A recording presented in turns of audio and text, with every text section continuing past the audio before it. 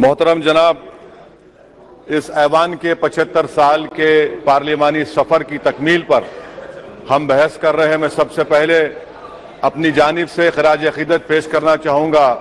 मौलाना हिफ्जुर रहमान साहब को, जो पहली और दूसरी पार्लियामेंट के मेंबर थे।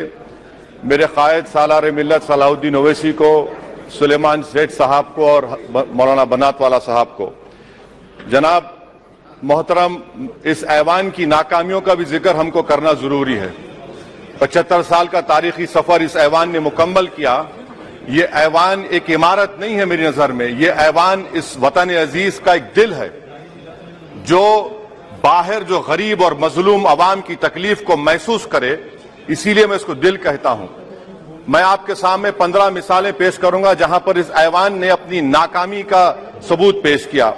एक उस वक्त जब दिल्ली की सड़कों पर सिखों के नस्ल नस्ल कशी की जा रही थी, एक उस वक्त जब 6 दिसंबर को बाबरी मस्जिद की शहादत हुई तीस, आ रहा हूँ, आ रहा हूँ, आ रहा हूँ, भागलपुर, जिसमें रेशम के कारोबार को खत्म किया गया, मुसलमानों को दफना दिया और वहाँ पर फूल गोभी उगना शुरू हो गई। एक उस वक्त नाकामी साबित हुई, जब मुजफ्फरनगर और गुजरात में नस्ल कशी की गई। एक उस वक्त, सर, जब आपके, हम देखते हैं कि मुंबई की सड़कों पर इंसानियत का नंगा नाच हुआ। एक उस वक्त जब इस ऐवान में टाडा, पोटा का काला कानून बनाया गया, यूएपीए का कानून बनाया गया, आफ्सपा का कानून बनाया गया, जिसको एक साल के लिए बनाया गया था 58 में हम 2023 में आ गए। एक उस वक्त नाकामी साबित हुई। जनाब, जब हम देख रहे हैं कि आज ये जो दिल है, भारत का दिल है, हिंदुस्तान का, इंडिया का दिल है आज गरीबों में, मजलूमों में, मुसलमानों में, कश्मीर की आवाम में, दलितों में, आदिवासियों में इस ऐवान की मोहब्बत और एतमाद खत्म हो रहा है, कम हो रहा है। इसीलिए जनता सड़कों पर आकर एहतजाज कर रही है, क्योंकि उनको लग रहा है कि इमारत बन चुकी है, हमारा दिल नहीं है। चाहे सी डबल ए का प्रोटेस्ट हो, चाहे किसानों का प्रोटेस्ट हो, चाहे शेड्यूल कास्ट के रिजर्वेशन का मसला हो। इसीलिए मैं आपके ज़रिए हम तमाम को मुतनबे करना चाह रहा हूँ। कि अगर हम रोडों पर इंसाफ करना जनता को अलाउ करेंगे, इस ऐवान को दिल नहीं रखेंगे तो याद रखिए ये हमारी पार्लियामानी जमहूरियत के लिए बड़ा नुकसानदेह साबित होगा। और नुकसानदेह इसलिए भी होगा कि क्या हमको आकर, हमको अपने ख्वाब गफलत से, अपनी जिम्मेदारियों से निभाने के लिए क्या भगत सिंह को आके बैठना पड़ेगा ऊपर? कि देखो तुमने सब पचहत्तर साल में कैसा कानून बनाया और किसको कहाँ तक पहुँचा दिया? स्पीकर जनाब इसीलिए मैं कह रहा हूँ कि हम तमाम को अपनी जिम्मेदारियों को निभाना पड़ेगा। ये इमारतें ईंट से बनी हुई ज़रूर हैं, मगर ये इस इमारत में दिल है। इस इमारत को दिल के तौर पर बरकरार रखना पड़ेगा।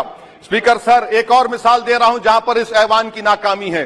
सर, अब तक लोकसभा के कितने? आठ सौ निन्यानवे मेंबर कामयाब हुए। अब बताइए सर, पार्लियामेंट्री जमहूरियत में शराकतदारी की जमहूरियत है।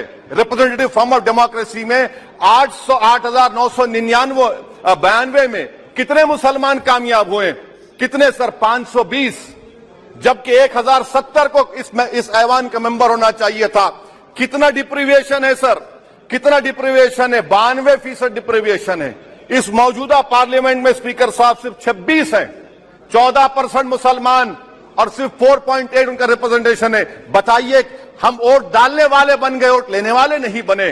या तो हकीकत यह है कि आप वोट डालना नहीं चाहते उनको। आप सबको वोट डालेंगे, मगर जहाँ पर मुसलमान आएगा वो कामयाब नहीं होगा। बताइए जब दिल में एक चौदह फ़ीसद आबादी की नुमाइंदगी नहीं होगी तो आप क्या फैसले करेंगे? क्या इस ऐवान को हम कहेंगे कि ये रिप्रेजेंटेटिव फॉर्म ऑफ़ डेमोक्रेसी है? स्पीकर साहब, मैं आपको एक और मिसाल देना चाह रहा हूँ। बाबा साहेब अंबेडकर ने सही कहा था, अंग्रेज़ उस जमाने में पार्लियामेंट बुलाते थे टैक्स बढ़ाने के लिए। हम उसी रास्ते पर जा रहे हैं। हम उसी रास्ते पर जा रहे हम तो बाबा साहेब अंबेडकर को हमने सच साबित कर दिया। स्पीकर सर, आखिर में मैं आपको बताना चाहूँगा कि आज आप देखिए कि चाणक्य ने क्या कहा था। चाणक्या ने सही कहा था। चाणक्या ने सही कहा था कि जब राज चलाने वाले व्यापारी हो जाएँगे तो उस राज के लोग भिखारी हो जाएँगे। आज ये वक्त आ चुका है, सर। आज ये वक्त आ चुका है कि क्या first past the post system इस देश के लिए सही है? या फिर हम प्रोपोर्शनल फॉर्म रिप्रेजेंटेशन को फॉलो करेंगे। First past the post system जिसके पास एक मज़हब का वोट होगा, जिसके पास दौलत होगी, वही इस ऐवान में आ रहा है। इसीलिए हम कह रहे हैं कि आप इस जमहूरियत की नाक कहीं ये जमहूरियत कमज़ोर ना हो जाए। मुझे इस बात का डर है, सर, आखिर में, सर, आखिर में आखिर में। मैं खत्म करने से पहले एक बहुत बड़े शायर ने कहा था, उस पर खत्म करना चाहूँगा कि अभी चिराग सरे राह को कुछ खबर ही नहीं। अभी चिराग सरे राह को कुछ खबर ही नहीं। अभी गिरानी शब्द में कमी नहीं आई। अभी गिरानी शब्द में कमी नहीं आई। निजात दीदे दिल की घड़ी नहीं आई। चले चलो के मंजिल अभी नहीं आई।